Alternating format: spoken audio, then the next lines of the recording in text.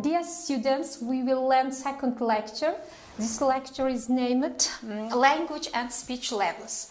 You know very well language is very important in our life because um, from this language we can achieve a lot of success and uh, we can develop our um, nation's life and uh, our republics and states life.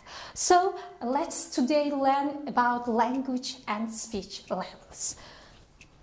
The plan of my lecture today we will discuss these problems with you. The first problem, language and speech levels, and the second one, primary and secondary levels, and the third one, units of levels, and the next one, the difference between language and speech.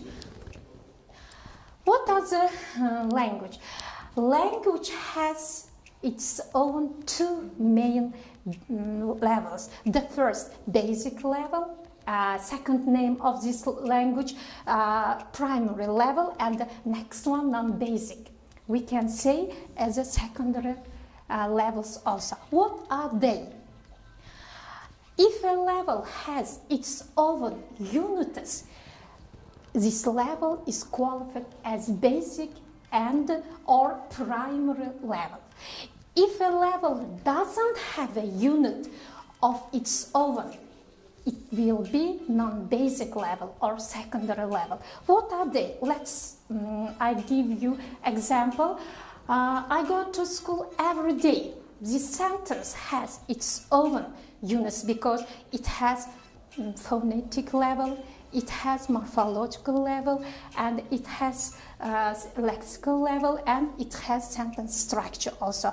This is the basic level. But an apple a day keeps doctor away. You know, it is a proverb. Um, very famous and active proverb among the speech in our uh, among the nations communications. So this proverb has also its language levels, but it has not own levels in a, uh, stylistic devices because uh, it helps from the basic levels. It will be non-basic secondary level. Next, next one, language, speech levels and their units. Uh, in linguistics, we discussed about the language and, and their units and speech and their units. The first one, number of them linguists uh, discuss it uh, differently. Some of them uh, consider there are four, some of them add uh, extra um, another levels among on them, and so uh, widespread the number of language and speech units they are. The first, phonological or phonetical level. This, their units phone, or phoneme. And the second one, morphological level. They are units morpheme and morph. And the third one, lexicological level. They are units lexeme and lex. And the next one about syntax. Syntax also is subdivided into two, syntax minor and syntax major. The units of the syntax minor um, is sentence the unit, sorry, and the unit of the syntax major is a text. What are they? Let's let's look or let's learn about them.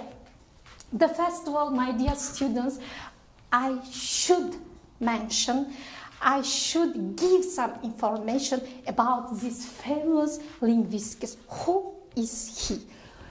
He's a famous Russian linguist and a lexicographer, and he was doctor of philological science, and he was professor, and he um, wrote a lot of uh, philological uh, books, uh, which are useful for us today. And he was born in 1905 in Simferopol. He was born in a Jewish family. Uh, he was very famous linguist. So, my dear students, we should know about him and we shouldn't forget about him. And Galperin, uh, Galperin, his name was Galperin.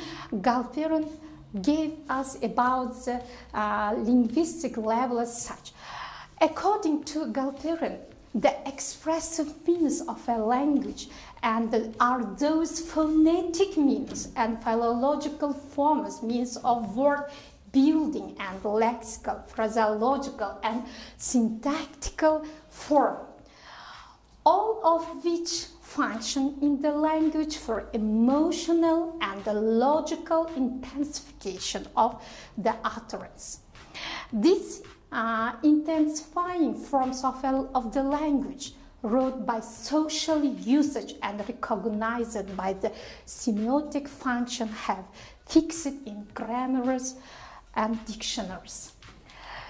This, is, this was the uh, Galperin's opinion about the uh, language and speech levels.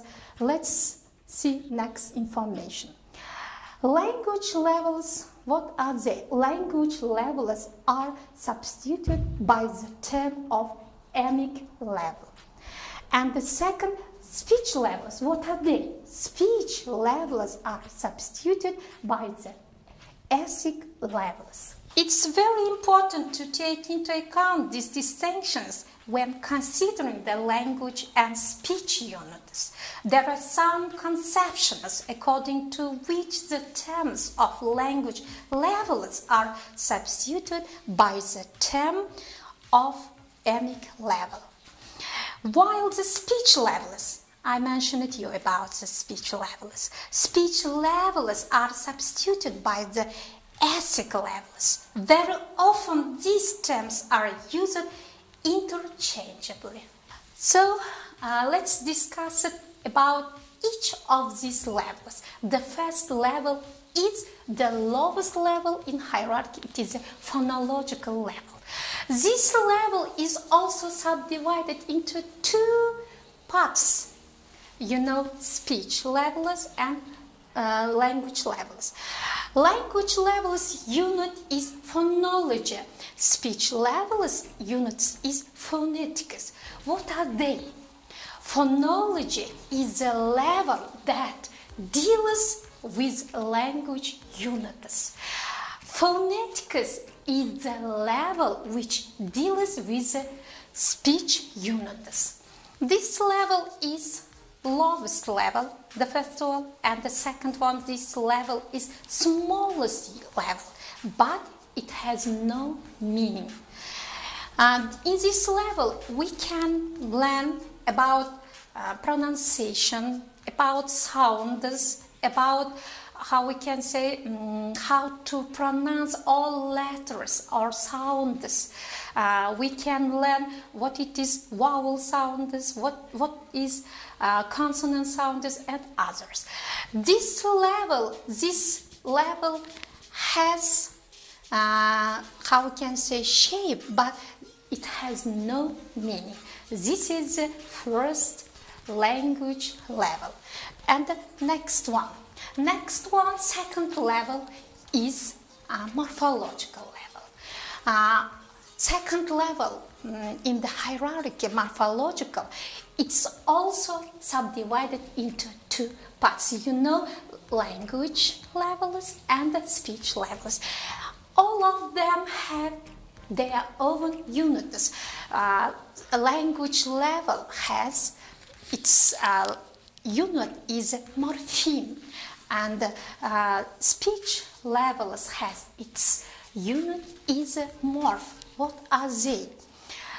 Morpheme uh, consists of mm, two or more letters and it's also um, small. It's also a small unit but uh, the difference between the first level they they have meaning so this level smallest level and they have meaning they are meaningful units, my dear students. Next one. Uh, next level is third level. It's called lexicological. Uh, this is very important because in communication always we need words and we need active words and new words. And we should know the meaning of this word when we use during the conversation. Uh, what is it? Lexical level. Uh, the level of the lexicological level of the language level is lexeme and uh, speech uh, unit is lex. Lexeme, lexeme is a language unit of the lexicology level which has nominate function. Lex is a speech unit of the lexicology level which has also a nominate function. So you can see both lexeme and lex um, nominate something or um, name things, actions, phenomena, quality, quantity, and so on. So, in one word, we can say like sculptural level uh, function, uh, nominate something or somebody. So, it's also very important level in our conversation. Next. The last level, it's very um, complex level. Um, the fourth level, it is a syntax. Syntax, we should know, my dear students, syntax we should subdivide into two main parts. Syntax minor and syntax major. What are they? What are the difference between them? Syntax minor, the term syntax minor is a common one for both language and speech levels and their unit sentence is also one communication term for language and speech units. So don't forget about it. In syntax level, uh, syntax minor, we learn about sentence, how it constructs uh, the functions of the sentence, construction of the sentence. So in this part, we will learn deeply about sentence. The linguistics hasn't yet worked out spirit terms for this purpose about sentence, um, which use it for uh, language and uh, speech levels units. Next. Next, last part, syntax major. Syntax major represents both language and speech levels due to the absence of spirit term as well as text. It is used homogeneously for both language and speech units. In this level, my dear students, uh, we learn about text. You know, text is very complex process. You know, text consists of not only uh, other levels. It should consist of paragraphs and a lot of um, sentences, different construction of sentence. This is a very complex process. This is the last level of the language and speech levels. Next, language and speech units are interconnected and interdependent, my dear students. Um, you think uh, without language, it can't be speech. Without speech, it can't be language. They are interdependent and interconnected. Next. In this lecture, I want mention to, to mention about very famous linguist and his theory and his uh, rules about language and speech. Every student, every student must know the difference between language and speech. It's very important. So the distinction between language and speech, the first, the first time was made by Ferdinand de Saussure. He was Swiss scholar, Ferdinand de Saussure, usually credited uh, with establishing principles of modern linguistics. according to Ferdinand de Saussure, um, the differences between language and speech are the following um, rules. The first, language is abstract and speech is concrete. Uh, you know, mm, it's very um, right because language is common for everybody. Uh, speech is concrete. When we want to speak uh, or to make a speech uh, in one place, we should prepare or we should, uh, how we can say, get the materials and others. So, speech is concrete. Second difference between language and speech language is common, general for bearers, while speech is individual. And the sad difference about them language is stable, less changeable, while speech tends to changes. And the last difference between them language is a closed system and its units are limited while speech tends to be openness and endless. To illustrate the difference between language and speech, let us compare a defined game of chess and set of rules how to play chess. In this, in this place, I want to uh, say about this information. Uh, look look at this information. Language is a closed system. Speech tends to be open and endless. What do they mean? Language closed system. You know, um, every day, for example, you cannot add um, any information on this language level. But speech is openness.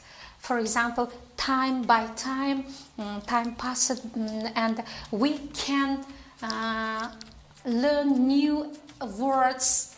Uh, and uh, if the how we can say science or industry is developing new words, comes from them. Uh, for example, uh, in Uzbek, I can say uh, Uzbek example. In old times, we address to our teachers um, and uh, other types of Qara and others. Nowadays, we address to our teacher um, Ustaz, Muallim, Muallima, or um, uh, first name uh, and plus surname. For example, um, Ahmad Toshmatovich, and etc. Ahmad Abdullayev, and etc. So this is the uh, speech is opens.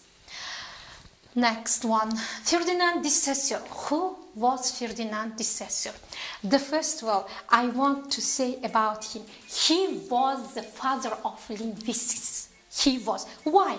Because he, he, uh, he gave us very significant information about linguistics. And he gave us foundation of linguistics foundation materials of general linguistics. Ferdinand de saussure was a swiss linguist semiotician his ideas laid a foundation for many significant developments in both linguistics and semiology. In the 20th century. He is widely considered one of the founders of the 20th century linguistics and one of the two major founders of semiotics and semiology. Uh, nowadays, you also learn general linguistics.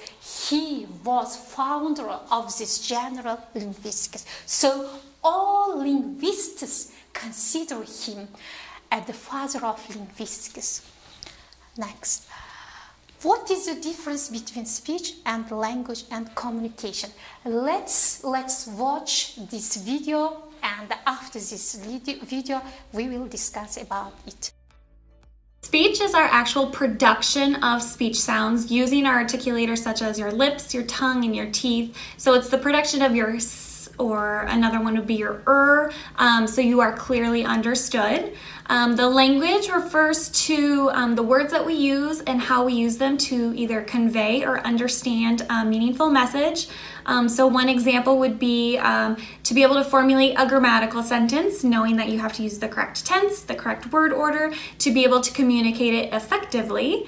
And then communication is kind of that overall umbrella term that refers to how we use our speech or how we use our language um, to communicate socially with one another. So it's the ability to get across our wants and needs or um, to understand how someone else is feeling or um, to express how we are feeling ourselves. So, my dear students, from this video, uh, you can see and you can discuss the differences between language and speech. From this video, you uh, know um, the difference, uh, the difference between the language and speech are very significant. Next, language is opposite to speech and according language units are opposite to speech units. The language unit phoneme uh, is opposite to the speech unit sound phone. As for example, as it is the sound s, s can sound different in speech s and the. Sentence is opposite to the utterance. The text is the opposite is to the discourse. Text, uh, different texts we consider text but written text it will be discourse. Today we will learn about these uh, words and these terms, scientific terms, linguistic terms. Level. Level is part or stage of system or language. Unit. Unit is individual part. Phoneme. Phoneme individual speech sound that makes one word different from another. And morpheme, morpheme is the smallest unit and meaningful unit in a language. Next one, lexeme. Lexeme, a word or a group of words that has a meaning that cannot, cannot be understood from the meaning of the parts which it consists. They are terms, uh, today's lectures are significant terms. My dear students, you should prepare uh, by the helping of these questions for the seminar lessons, for the next lessons. This, they are que the questions which you should uh, find the answers for them. Next, mm, this is a literature, useful literature, which you can uh, learn deeply this material, this subject, and you can find extra information from them. This is a useful uh, literature for today's lecture. Thank you for your attention. I wish you all of you health, strong health. Thank you.